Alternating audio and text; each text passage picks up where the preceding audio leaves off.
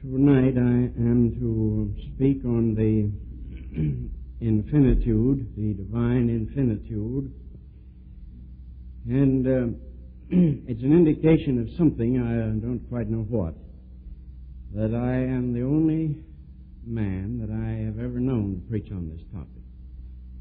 I have never read it in any book except a paragraph or two as they go along. I've never heard a sermon on it. That could mean that uh, it's very silly to try it, or it could mean that men need to screw up their telescope and look a little further into the sky.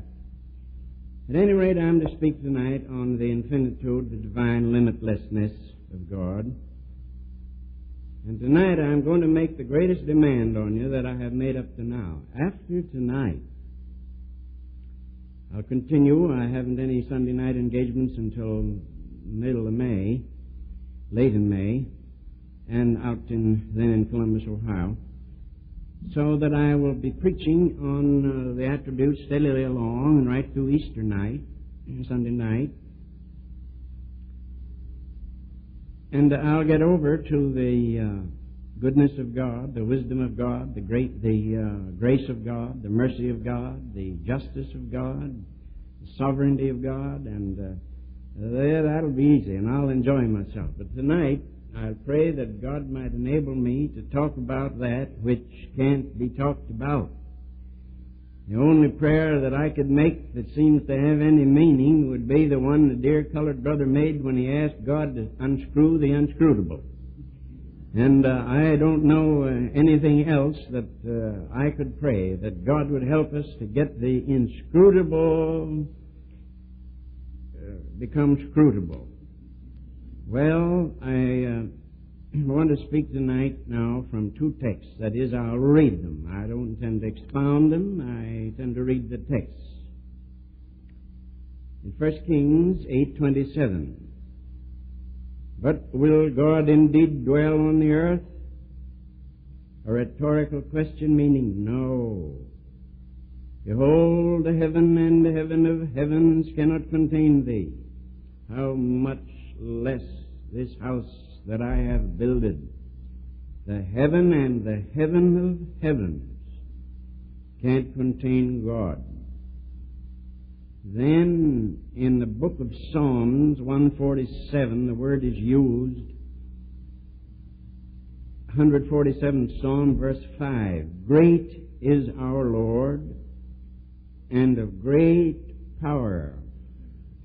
His understanding is infinite. Now, it doesn't say here in so many words, God is infinite. It says God's understanding is infinite, but it would be impossible for a being that was not infinite to have infinite understanding. A finite being could not have infinite understanding or greatness or power. So the Bible teaches that God is infinite.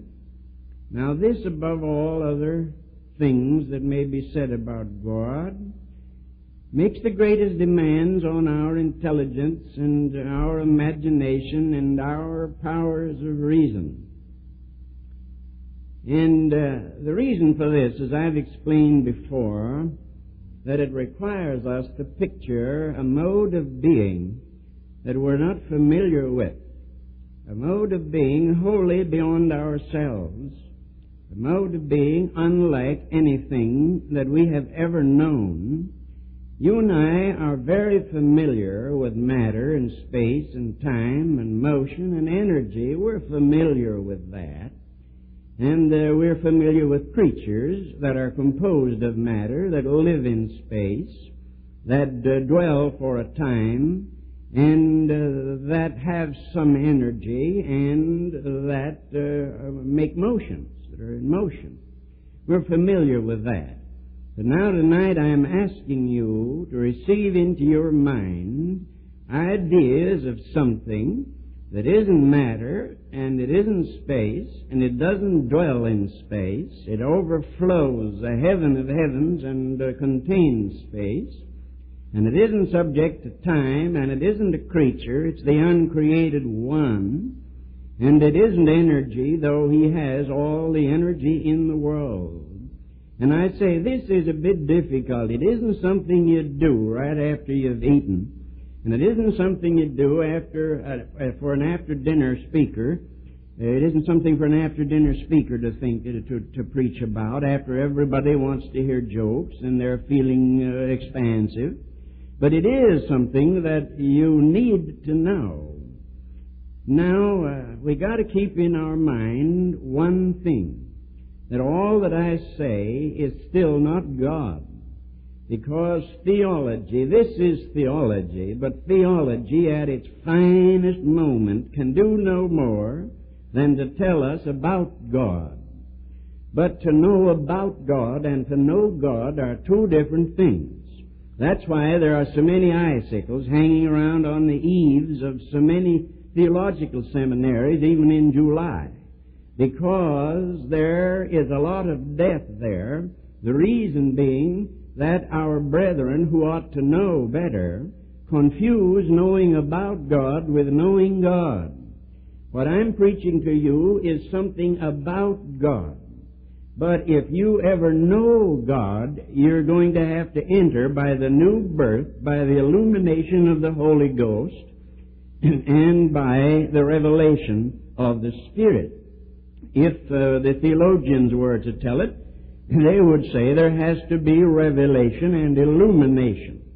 You have to have truth revealed to you, but until there is illumination of that truth, why, it doesn't do you any good at all.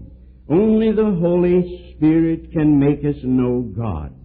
That is why when we speak of the Holy Spirit, we ought not to speak apologetically. And nobody ought to be ashamed to preach about the Holy Spirit or afraid to preach about Him for the reason that only He can make us know God. Theology can t- teach us about God, and that's what I'm teaching tonight. I'm giving you the uh, doctrine of the divine infinitude. Now, what do I mean by the divine infinitude? I mean that God is infinite, and I mean by that that we know from Scripture that this is one thing which God has declared about Himself to be true about Himself, and that's my definition of an attribute, something which God has declared to be true about Himself, either in Scripture or in nature. And both in Scripture and in nature, God declares things to be true about himself, we can know what God is like by nature and by Scripture, dimly and imperfectly in nature. You know, there used to be a time, I said this morning that we threw out the baby along with the bath when we threw out so much of the old uh, uh, traditional um, ways of the church. We evangelicals went overboard and threw everything out, and we've thrown out some very wonderful treasures. Our Puritanic fathers, the old Presbyterians and Congregationalists and Baptists in other days, used to preach about what they called natural theology. And they didn't hesitate. They weren't liberals or modernists. They were the church fathers. And they taught what they called natural theology. They said that God revealed himself in nature and that there was a theology that could be built up just by looking around about you. We all know that's true, but we're afraid to say that nowadays. We're scared stiff. We're afraid somebody will come along and beat us over the head with a Scofield Bible and say, now wait a minute here, you're a liberal. No, no, my brother, I'm no liberal. I hope I'm liberal, but I'm not liberal in the theology. And I am not a modernist, but I believe that God has, through His creation, declared certain things to be true of Himself. I know the Psalms say so, and the prophets say so, and Paul says so. And when I go along with an apostle of the New Testament, a prophet of the Old Testament, a psalmist of all testaments, I feel that I'm in pretty good company and I'm not too badly frightened. Well, what I mean about the infinitude of God is that God knows no limit, and right there is where we stick. The human mind can go a long way, but it can't go all the way to limitlessness.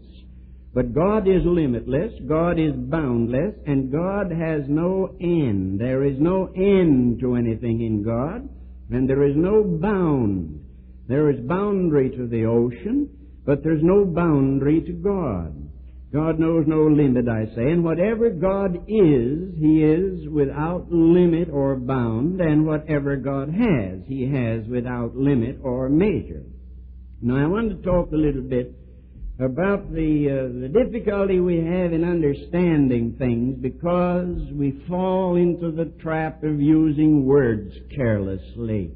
And when we think about God as being infinite, we've got to eliminate all the popular usage of words. For instance, unlimited. We say, why, the Trans-Canada Airlines can do so and so. She has unlimited wealth. We say General Electric is able to do that. They have unlimited wealth. Well, that's just a way of saying that they're pretty well heeled. But actually, unlimited can't be applied to the wealth of the Trans-Canada Airline or Eaton's or General Electric or the Rockefellers. No.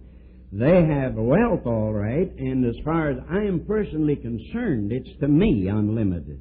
But uh, you could count it after a while, and you'd run out of it pretty soon.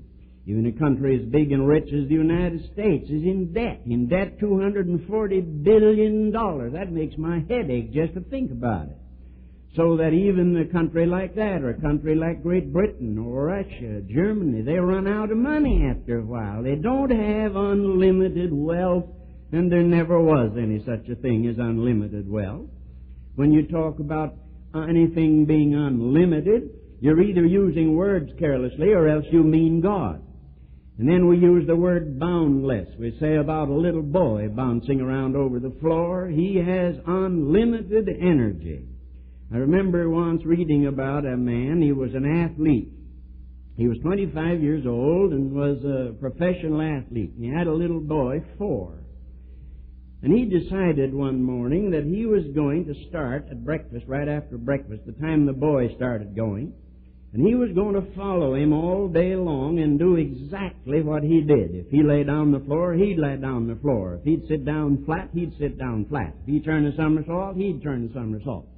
So all day, that not all day, but as long as he could keep up, this big strapping athlete followed this little boy. And along about noon, he was lying with his tongue hanging out, and the little boy was still going it. So it, you can easily see who had the, the energy, but neither one of them had boundless energy. That little boy's energy had a bound to it. And along about supper time that night, little head began to go down over his over his uh, plate, and you'd have to wake him up and say, "Eat it, eat your dinner, Junior. You can go to bed right after you eat." He didn't have boundless energy, though he had so much of it that we carelessly say it was boundless. Then we say about a musician, he takes infinite pains. Or we say about an author, he takes infinite pains. Well, I don't suppose I'll ever cure the unhappy semantic habit of using words carelessly. I do it myself, and so who am I to talk? But when it comes to the word infinite, I never use it. I remember when um, when Admiral Byrd went down to the South Pole and went up over the ice uh, barrier, you remember, and had all those experiences and adventures. He came back home, and uh, they were interviewing, and somebody said, "Was it a thrill, Admiral?" And he said, "Thrill is a word that I never use." Everybody is talking about the thrill, but the man who was undergoing it never used it. Well, infinite is a word that I never use. I used foolishly the other day in writing. I can still edit it out. But I said all but infinite. Well, that's kind of silly because when you use the word infinite, it means boundless, limitless, shoreless, without end, without measure, without, uh, without weight. It means infinity stretched in all directions from where you are, and there can only be one, and that is God. So no, no, nobody ever took infinite pains. They say Flaubert, the great French writer, used to walk the floor for hours to select one word. And Flaubert said, there's no such thing as a synonym. Get the right word. Get the right word. And so he'd search all night for the French word that fit what he was wanting to say. He said there are no synonyms. You remember that Gray's elegy took him seven years to write Gray, write the elegy. Well, that's uh, that's taking pains, all right, but not infinite pains, because at the end of seven years there was an end. But if there had been infinite pains, there never would have been any end. So when we say infinite, we mean God. These are words, these words unlimited and boundless and infinite, they're words that can't be used of God only of created things. And measureless is another word, or measure. Measureless is the word we can use only of God. A measurement, you see, is a way created things have of giving an account of themselves. You reach into the, your pocket to see how much change you have, and you count it. You're, you're, you're measuring the number uh, of what you have there. Or you get on the scales and you weigh yourself, or you stand up and they tell you how high you are. That's me. You're giving an account to yourself. I said to a man once, how much do you weigh? And he said, I'm afraid to get on the scales. And uh, I uh, am not uh, mentioning any names, but uh, a, uh, the uh, measure, measure, you see, is a way, is a way we have of accounting for ourselves. Uh, it, it, gives an account of ourselves. It describes limitations, in other words. It describes imperfections. And uh, God doesn't have limitations, and He doesn't have lim- uh, imperfections, and therefore it doesn't describe God. Uh, everything that we describe by limitations is is contingent and uh, and relative, whereas God is self-existent and absolute, and therefore He is a boundless ocean, and none none can bound Him, and none can fathom Him, and none can describe how far out He goes in infinite distances in all that He is. Now, measure applies to created things, you know. Weight, that's for the gravitational pull of matter.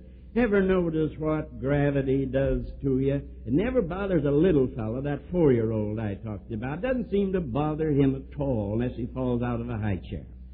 But uh, it, it pulls the old fellow down after after a while. He stands upright, you know, straight up because he defies gravity. But when he gets, begins to get really old, Gravity pulls him slowly down and down, and pretty soon he's bent over. Gravity, over the pull, the tug of the center of the earth has done that.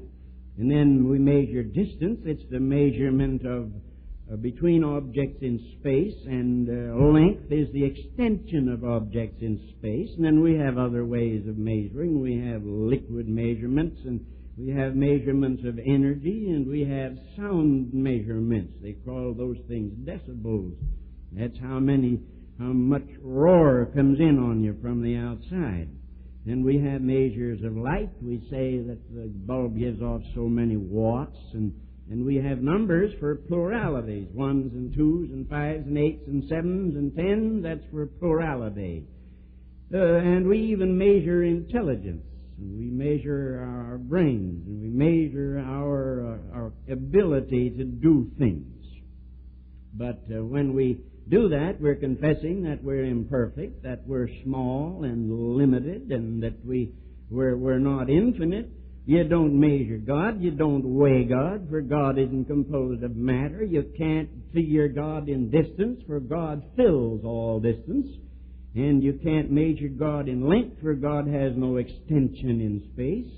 And you can't measure the, the, the energy of God, nor the sound God makes, nor the light He gives off, nor anything else, and there are no pluralities in God. God is one. One God, one God, we praise Thee.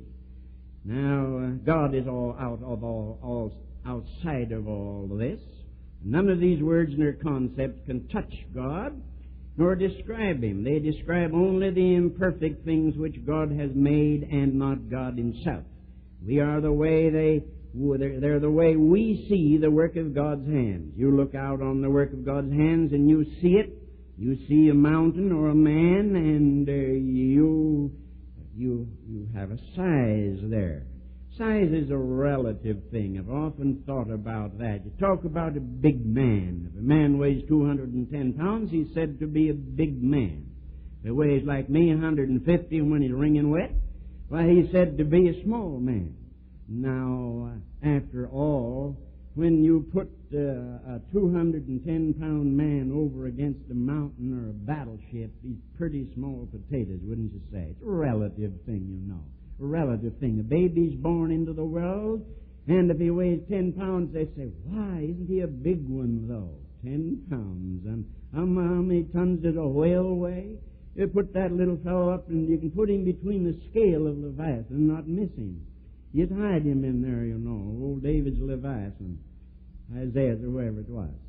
Well, it's just a relative thing. But in God, there's no sizes. In God, there are no degrees. In God, there's no measurements and no length and no pluralities and no weights uh, because God is just God.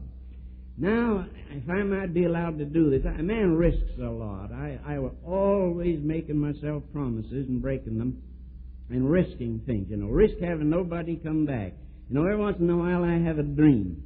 And I'm looking from a text, and while I can't find the text, everybody leaves. That's, that's, that's a dream that I've had. I have that on the average about twice a year. While, uh, while I'm looking for my text, everybody gets up and goes. And I, when I finally get my text, there's nobody down there but one or two people scattered about in a large auditorium. And it's all misery to me. I wake up, you know, and shake it off. I've had an awful time. And uh, I'm worried sometimes for fear that I may do this because I break so many rules, so many rules you learn in school. But I'm going to break one now, and I'm going to quote a hymn to you and uh, comment on it. Not explain it, but comment on it. There was a man who, who wrote a hymn about the infinity of God. Nobody ever sings it, but he wrote it anyhow, and he got it out of his system, and I read it, and it blessed me. And he, he, it's a prayer to God, and he says, O majesty unspeakable and dread, were thou less mighty than thou art, thou art, O Lord, too great for our belief and too little for our heart. In other words, he said that if God were uh, just, a, just a big God, he'd, uh, he'd be too great for us to believe and too little for us to worship. And I believe that. If God were simply a big God, I hear people say, Brethren, we have a big God. I don't like it. I don't like it. A lot of these salesman expressions, these American businessman salesman expressions that some of our Christian businessmen use, I don't like them at all. I don't like them a bit. Because I don't think we ought to pull God down and sell him over the counter like, like dry goods. I think that God is too holy, too infinite, too high, too wonderful, too glorious for us even to think of him like that. But what he says here is, that if God were just a big God, He'd be so big it'd scare us, but He'd be too little for us to worship. I couldn't worship a God who was just an outsized man, could you? I couldn't even worship a God who was simply a huge archangel. That's why I don't go much for these religious pictures stuck around. I remember seeing in an, an art gallery, I, I attend an art gallery whenever I'm around where they are. I walk through real fast and come away discouraged. But I remember seeing a painting of, of Michelangelo's God, the Creator. Here he was, a great, monstrous, big, old, bald-headed man sitting on a cloud or lying outstretched on a cloud. And he's doing this with his finger and Adam's coming into being. Well, I don't like to think of God. I couldn't worship that God at all. I don't know how Michelangelo ever got down on his knees to a bald-headed old man. I couldn't do it. I'd want him at least to have a decent head of hair, even if I don't. But this was a bald-headed old man. And that was Michelangelo's concept of God the Father Almighty, maker of heaven and earth, who dwelleth in eternity in light no man can approach unto. I think it's tragic and terrible. So if God were just a big God like that, He'd be too great for our belief, but He'd too, be too little for our worship. Then He says, Thy greatness would seem monstrous by the sight of creatures frail and undivine. Yet they would have a greatness of their own, free and apart from thine. If God were simply a huge man, then I'd say, well, he's bigger than I am, but here I am. Here I am.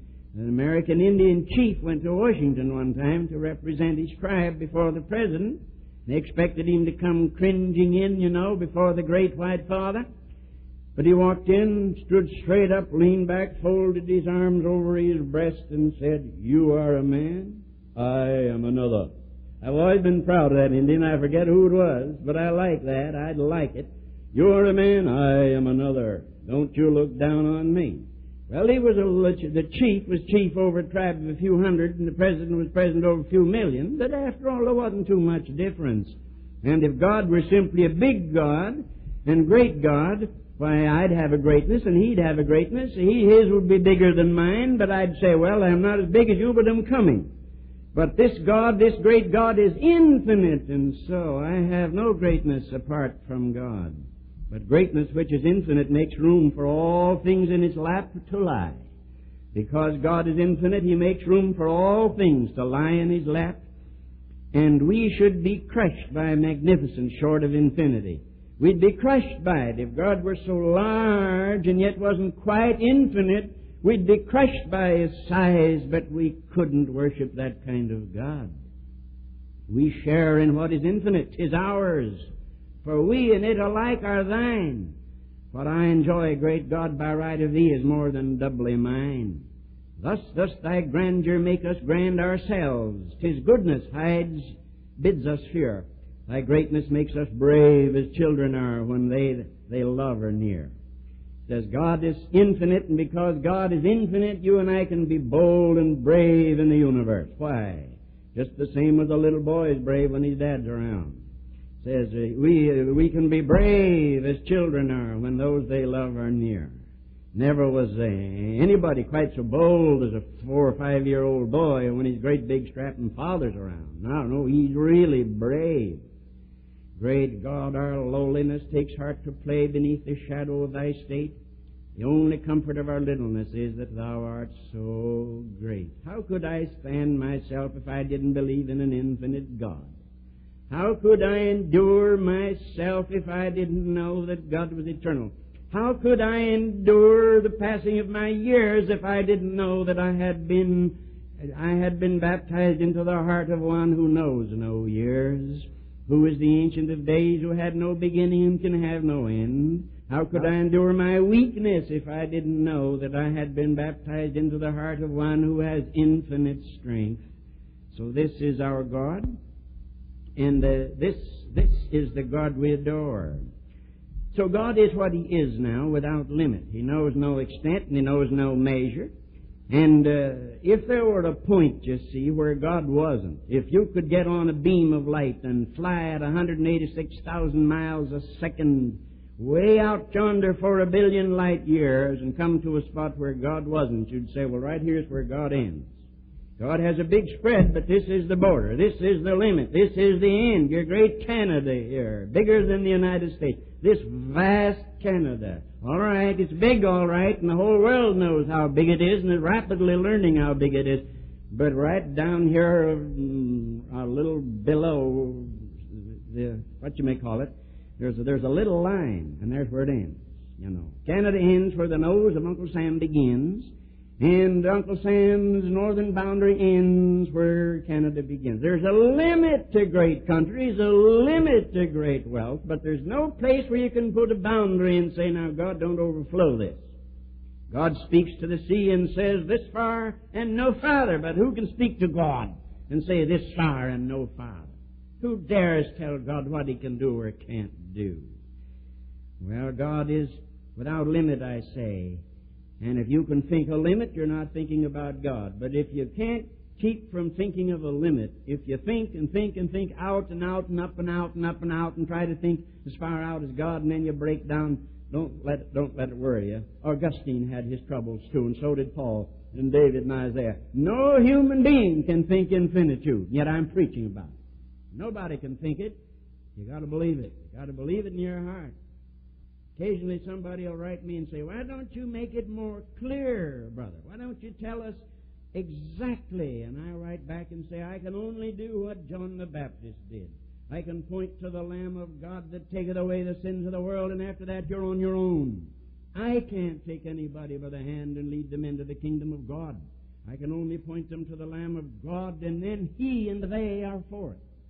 And I can't by any means describe the infinitude of God, I can only point with wonder and amazement and awe-struck admiration and say, Behold God. And then after that, it's you and God for it. One of these days, I'll be gone. And it'll be you and God for it. One of these days, your friends will be gone, and it's you and God for it. So it's good that we now know all that we can know about the infinite God. Now, what does all this mean to us? That God is infinite, I think, is true. All theologians believe it. The Bible teaches it. We sing about it, and I've tried to preach about it tonight. But what does it mean to us now? Have we had a lesson in theology upon which we're to give be examined one of these days? No, not that. There are some things that if this is true, and it is true, then God's love is infinite. The love of God is infinite. I heard a man preach years ago. Don't remember his name at all. But he left, he left a beautiful thought with me.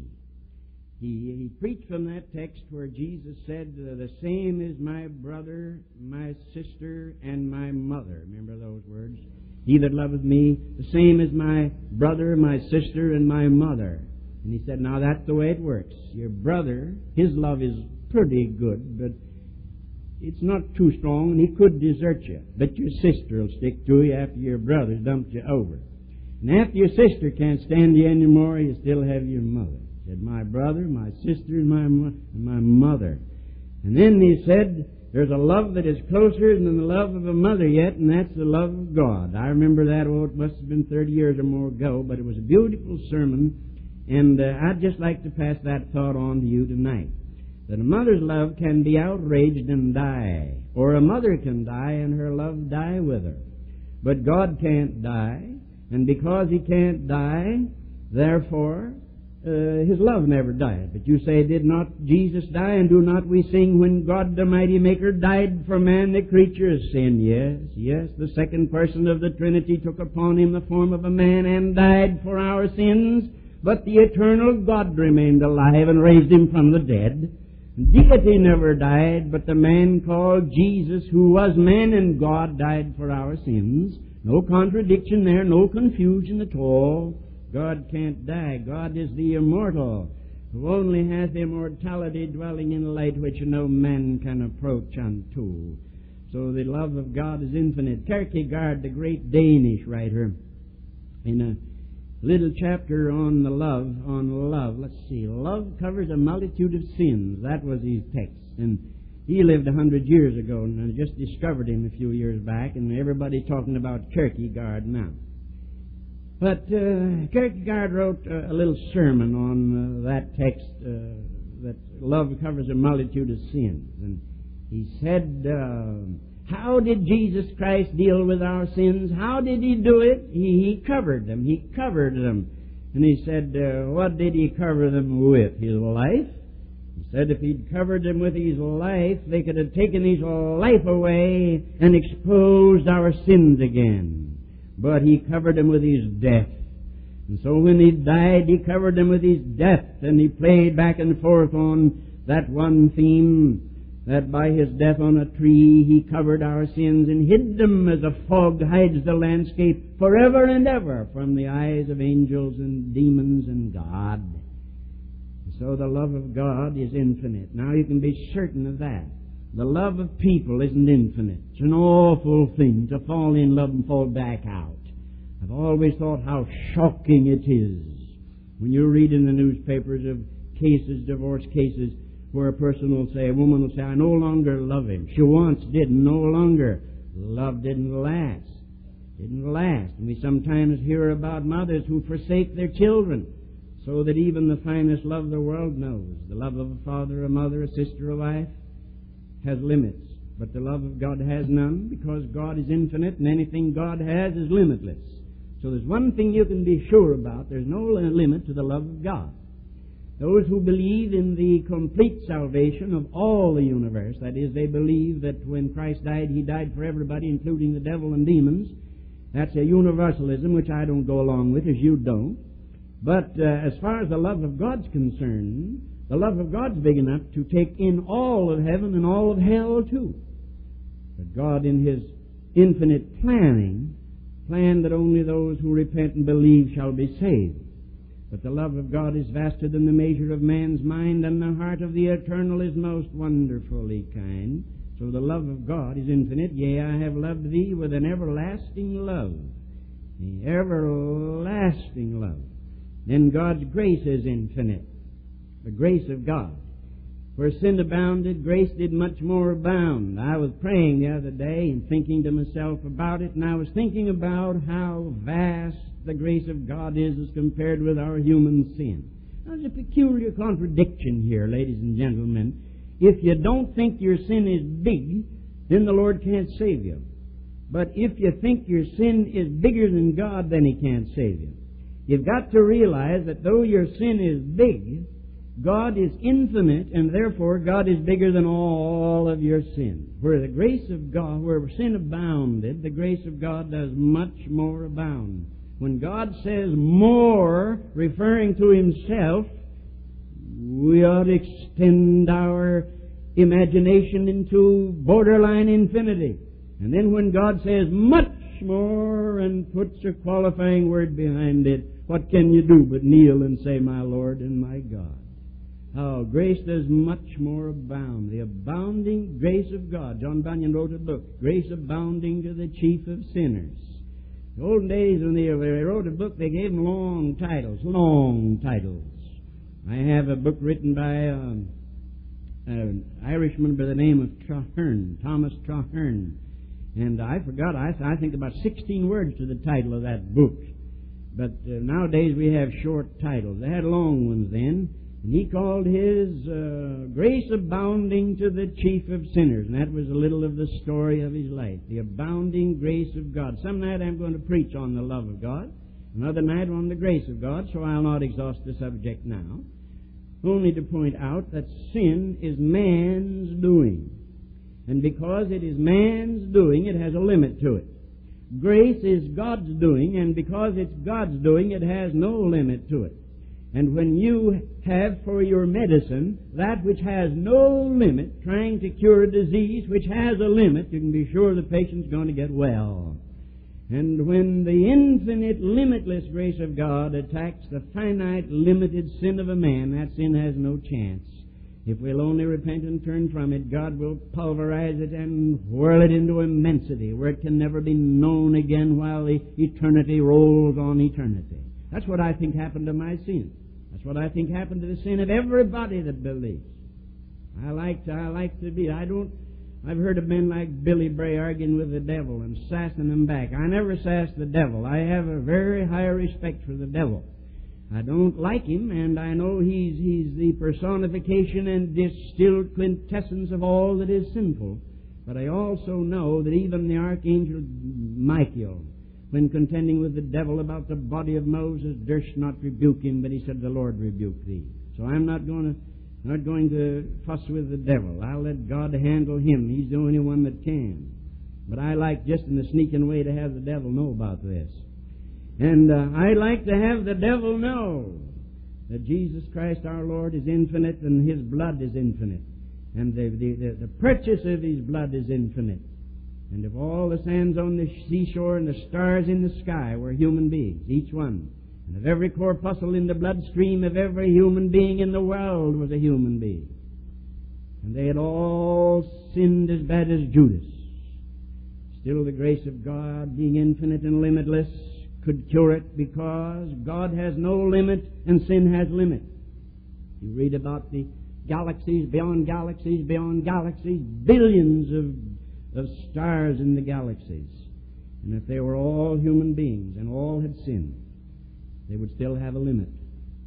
And if your sin is big as a mountain, you look back on your past, you remember the things you did, you know the big sins have never once been the ones that bother me, but the sneaking little mousy sins, the sins you're ashamed of, the sins you don't want even to think about, they're the ones that bother my conscience and bother me. But even though you've sinned all those little rascally sins, they have a limit to them. You can, God could set eight or ten angels counting, and in ten years He could count them, you know, with an adding machine. He could find my sins and add them up and say, well, here's the total. And it would string clear across the room. And then some angel would say, well, I guess he's doomed. And God would say, no, look at my grace. It extends not across the room, but from eternity past to eternity to come. Infinite grace of our loving God, we sing. And it's correct, correct and proper that we should. Well, then there's atonement. Atonement. When He died for us, when Jesus died, He died. It was enough. I'm glad to have enough of something, aren't you? Once. Enough of something sometimes. And uh, there's enough. When Jesus died on that tree, it only took Him six hours to die, but because it was infinity dying, it is because the man who died was charged with the deity who couldn't die. But because God counted counted the infinity there, uh, atonement is enough. I remember a great hymn by a man by the name of Zinzendorf. And uh, he says, Lord, I believe we're sinners more than sands upon the ocean shore. Thou hast for all atonement, a, a ransom paid for all, a full atonement made. Now that was a good Arminian that wrote that, you know.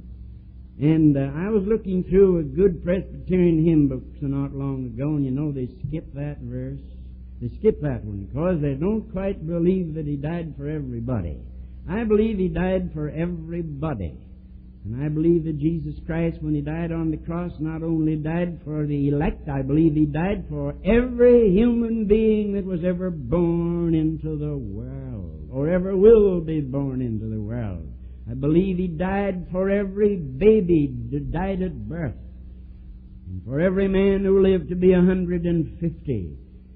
I believe he died for all. Lord, I believe thou that were sinners more than sands upon the ocean shore.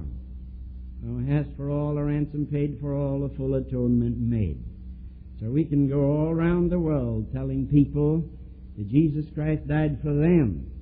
There are some of my good friends say that, well, he died for the elect. And when you go preaching the gospel, God finds his elect. Well, if there were a hundred people there and I was preaching the gospel to them, and uh, only 90 of them were elect, or 10 of them, say, were elect, and the other 90 weren't, I'd be lying to 90 of them. When I say Jesus died for you, put a period after it, I'd be lying to 90 of them. Yeah, he only died for the 10 who were the elect.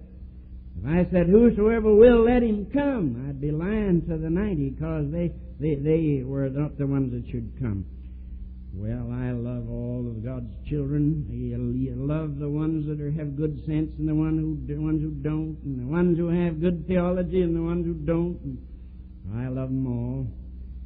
Throw my arms about them all, and I suppose that it's good to believe good, strong theology, but I can't go along with those who believe that Christ died only for certain ones. I think Christ died for all of us. And when I was, he was out there on the cross, I was in his heart. Hitler was in his heart, and Khrushchev was in his heart, and Bluebeard was in his heart. When he died there, out there on the cross, Eichmann was in his heart. You say, how could it be? The, these horrible men, these were horrible men. Judas was a horrible man. But Jesus Christ, having infinite efficacy in the atonement, atoned for Judas.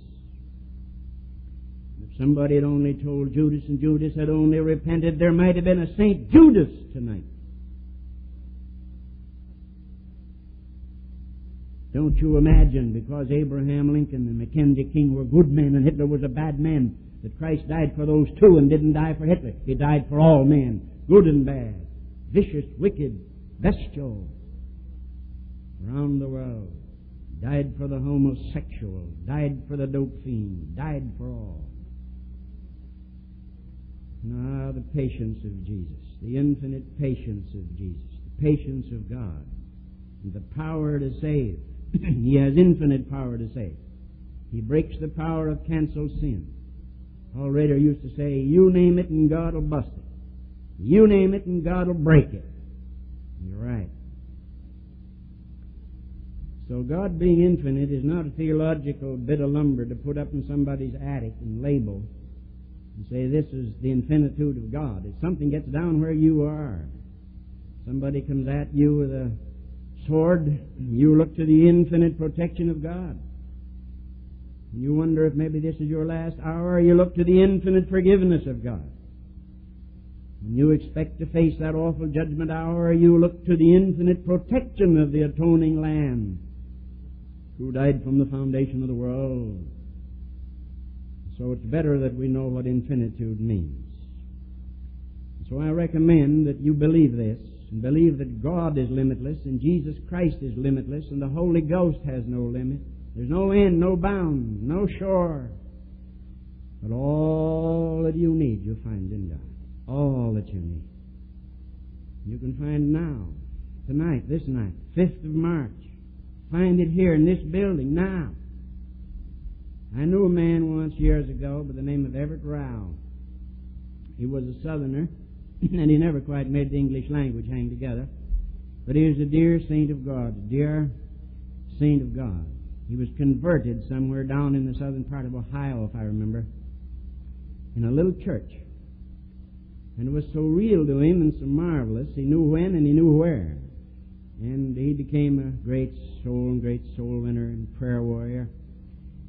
And uh, every year he'd go back to the little place where he was converted. And he'd go in, reverently walk down the aisle, and he'd measure off from the end of the altar, the old-fashioned wooden altar, and he'd walk over where he'd been. He'd kneel down there, and he'd have an hour of thanksgiving, thanking God Almighty that he ever found this sinner ever drowned. So one summer he went back, and uh, in the meantime, unknown to him, they'd sold the church, and they'd turned it into a garage. And they had a concrete floor, and there was oil and dirt and grease over the floor, you know, and hunks of this and that lying around. So he said it was the same building, only that it had been gutted out and concreted, and now they're using it for a garage. He said uh, he stepped it off down the aisle and then over from the side of the building in, and he said, Now I think this greasy spot right here is where I met God. So we went over to the boss and he said, Excuse me, but um, this used to be a church. Yeah, he said. Well, he said, uh, I was converted in this church. Sure enough, yeah, I was converted in this church. And he said, Every year I come back here and kneel down at the spot where I met God. Said, Would you mind if I knelt down over there in the grease and thank God Almighty again after the passing of the years for saving my poor wretched soul? The fellow said, No, it's all right with me. So he went over and knelt down in the grease, and the fellows around him, you know, pounding and working and drilling. They looked at him and thought it was another nut arrived. But Everett knew what he was doing, and there in the grease he knelt down and thanked God that he ever converted Everett Rowell. You know, I believe there are some of you here tonight, if you'd only dare to believe in the infinite love and grace of God and the infinite, limitless, measureless power of the atonement, you could make this the night that you come out of darkness into light. And as long as you live, you would have a warm spot in your heart for Avenue Road Church. You may not want to do what Everett Rowell did, but your mind would go back in memory to the 5th of March for the years that God may have give you on earth and say it was back there in Toronto that I met my God. Wherever you might wander over this wide, wide world, at least once a year your thoughts would rove back like a sparrow coming back to Capistrano for a swallow, and you would say, I remember when God met my soul. The infinite grace of God rolled over me with cleansing power.